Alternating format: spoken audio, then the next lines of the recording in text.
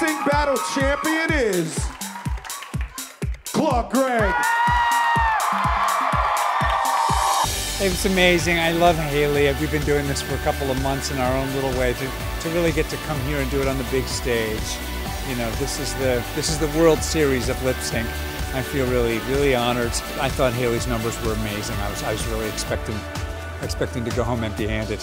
You know, there's only one person I had to share the stage with, and that was my wife Jennifer, and she got to show up and be part of it, which was also really cool. Ah, I'll take one anybody. Anybody.